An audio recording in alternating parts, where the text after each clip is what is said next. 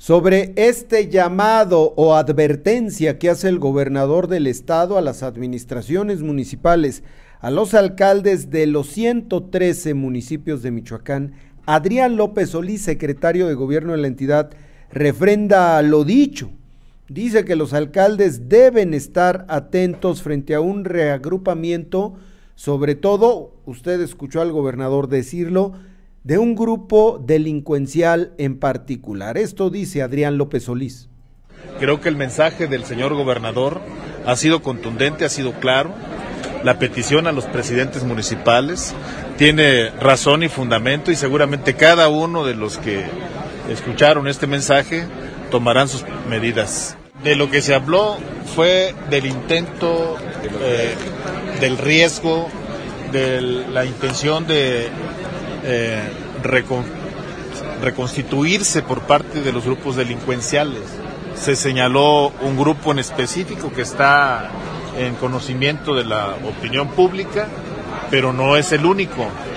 Y bueno, los grupos delincuenciales pues tienen remanentes de la etapa de la desarticulación.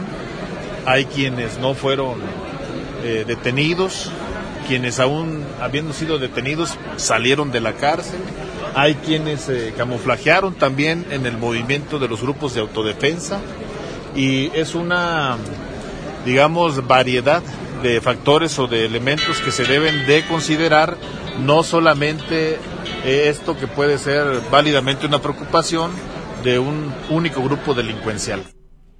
Reitera por si hubo dudas esta solicitud de advertencia que hace el gobernador a los alcaldes, ahora lo reitera el secretario de gobierno. considero que lo hacen para que luego no vayan a decir que a Chuchita la bolsearon.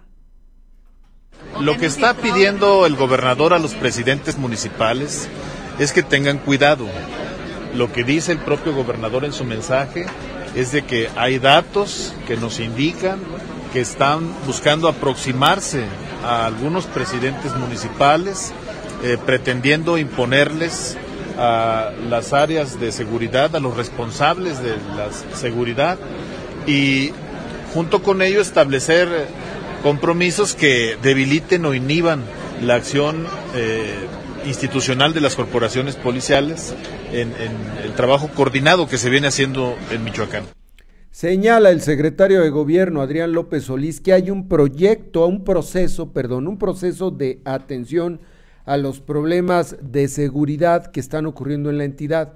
No todo es el combate frontal a la delincuencia que puede generar muchas veces en más violencia. Hay varias aristas en el problema de seguridad que deben ser atendidas. Así lo dijo López Solís. Es el proceso de atención a las diferentes aristas que hay en el problema de seguridad. Eh, no es solamente el hecho de la actividad de los grupos delincuenciales.